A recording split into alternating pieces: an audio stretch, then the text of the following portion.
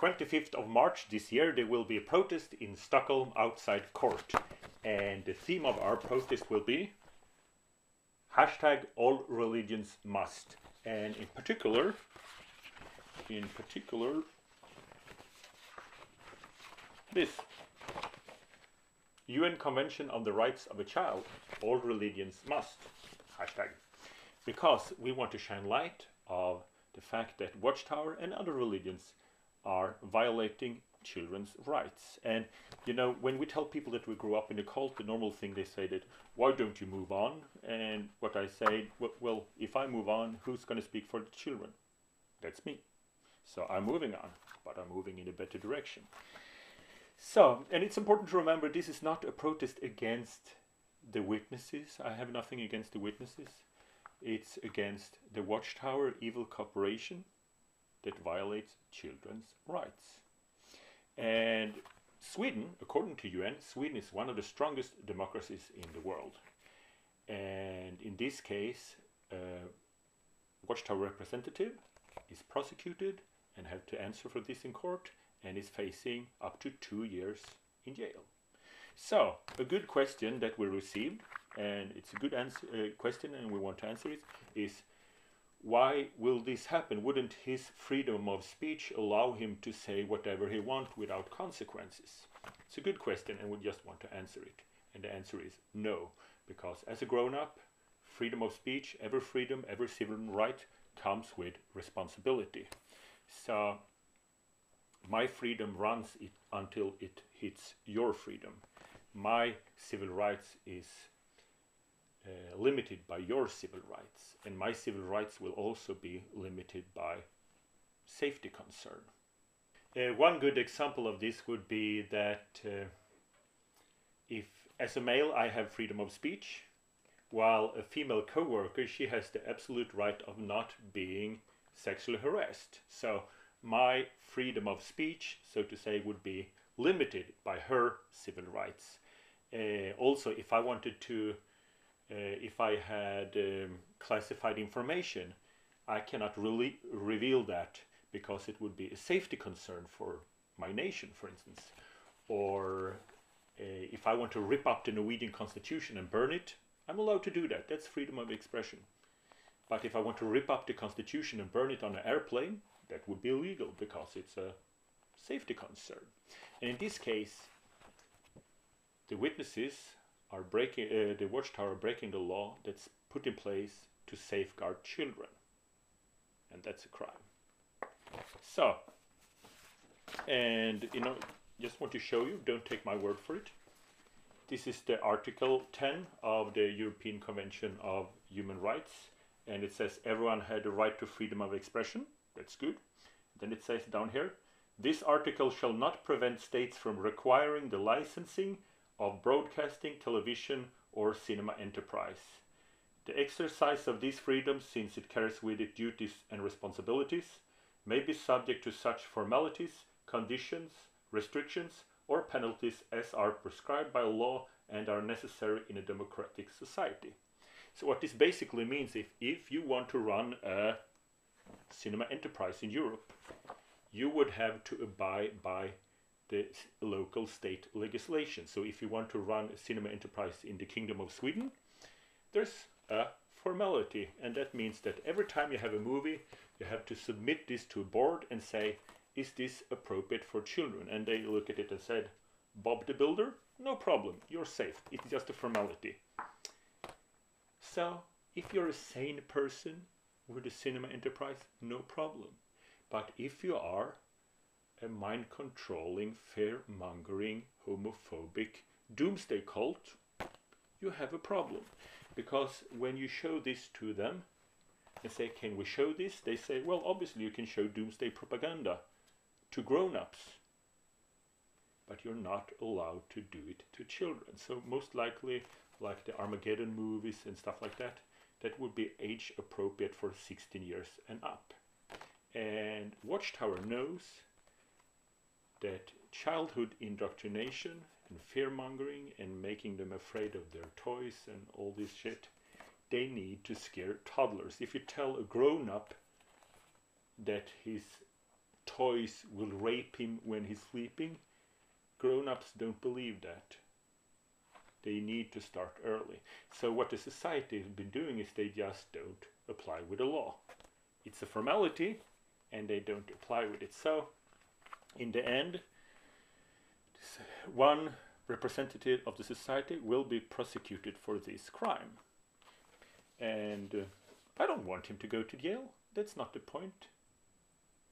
The point is we want to shine a light on children's rights. Because growing up as a witness, you know, we were told, my, I remember my mother used to tell me when I was four years old that soon the police will come and arrest us arrest mommy and daddy and they will torture they will start with daddy. And i asked what's torture? And she said you know they will start cutting off daddy's fingers. And i was uh, and not all of them just start with a little and tie every finger until all the fingers and then all the toes and the arms and the feet little by little. And i was absolutely scared. And then they do it with mother and imagine you're four year old you're, you're, four years old you're thinking about the future with mom and daddy and then they would do it with my brother. So i would have to take care of them. And i was absolutely shit scared. I was four years old and uh, then they they said you know they would do it to me. And don't worry because if you die you get resurrected if you're good enough. And my parents always told me i wasn't good enough no matter what you do is not good enough. And it said, if, if you're good enough, God will help you so you're not afraid. And I was shit scared. Obviously, I wasn't good enough. And I remember situations when I was in school and I was standing up because I wanted to draw a chicken. And I said, I will not draw a chicken because chicken originates from egg and egg originates from Easter and Easter is pagan. And I thought I would be thrown into flaming oven, like my mother said, and she said, only this, like Sadrach, Meshach, and Abednego, but no angels will save you, but you'll be resurrected if you're good enough. And I remember standing there, I was shit scared, and Jehovah didn't protect me. I was afraid, and it was so unfair. And I remember I asked in an earlier stage, Mom and Daddy, what happened if I die and uh, if I don't get resurrected? They say, Well, Jehovah will make us forget you so it's be like you never existed. And I remember standing there and I was 100% sure I would be burned to death in a flaming oven and it's not a way to treat children. And that's why we're talking up about this. The witnesses are nice people. They are deluded and they are doing this to their children. And we can help them by being activists. So, this protest is a secular protest. Hashtag all religions must. And we're having color coding, so blue signs when it comes to human rights for grown-ups and green signs for children's rights. And this makes a good visible display. If we are nine people coming, it will be green, white, blue, green, white, blue, green, white, blue. So we ask all the protesters to express their individuality by their clothing. So if you're a bank, it's not a masquerade. Don't come dressed as Superman, really. Uh, the thing is, if you're working in a bank, you're dressed as a person working in a bank. If you're a hobo, dress as a hobo. If you're a window cleaner, dress as a window cleaner. Because when people see all of us with the same message, all demographics, different people agreeing on one thing, they assume it's important. And we're working against legislations. And that's important because when they see all these people, they see all demographics, they see all kinds of voters. That means my voters and the opponent's voters. We get more attention this way. And we really put some thoughts into this. If you see here, it says UN Convention on Rights of a Child, hashtag all religions must. It's not a complete sentence, and that's good because it makes people think. And the reason why we put a lot of thought into this is because we don't want one protest, we want one movement. Because the human rights and children rights are in most countries. And we can use this for protesting. It's secular protest, so there will be no my Jesus is better than Watchtower Jesus. No, this is secular. And uh, let's say there will be a court case about blood. Well, I can show up with this sign because children had the right to live according to this. If there will be a court case against uh, lack of democracy, that witnesses are not allowed to vote, here I am. It's also in the children's rights. And the, the way we've done these signs, like if I'm having this sign and someone asks me what you mean, I can just flip it and there's a quotation of the actual law on the backside so it's easy to show what the society which law they're breaking. When it came to children's rights that's much worse. Because if we would write all the paragraphs of the what the law they're violating it's too much because they are violating paragraph 1 2 3 6 8, 12, 14, 15, 19, 28, 29, 31, and 34. So even if we had big signs, it's not room for everyone, uh, all the paragraphs. So we're just on the back side, we have an article written by Sam Fade. Thank you very much. Uh, so that will be our signs. All religions must. And I actually like them because I can show up outside Warwick with this. I can go outside a convention.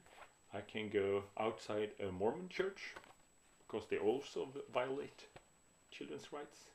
So, I like them. And um, we really got the Watchtower by their spiritual um, anointed balls right now.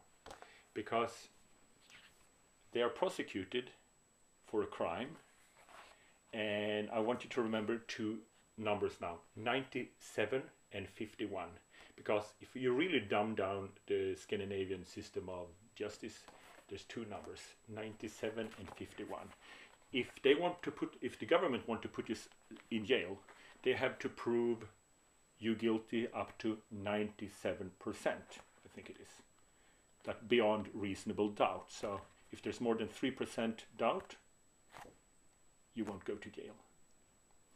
But for me to, or a child in the future, to get uh, to sue the society for liability, there's a different numbers. There's only 51.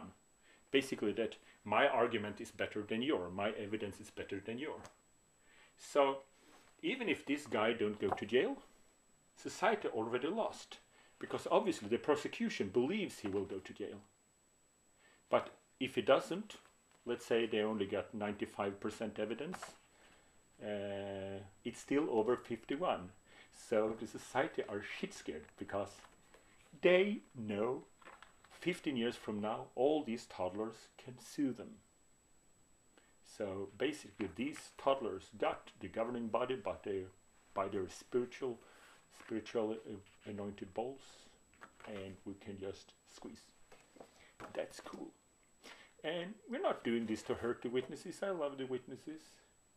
But we want to shine a light on all the crimes they're committing uh, when they're violating children's rights. And um, I really have high hopes for this protest. It will be the first of many and uh, it's the 25th of March and I hope you'll be there. You can contact me on my Facebook page and uh, big shout out to Christina and uh, Sabina that are also on the plannings committee. So, see you in paradise.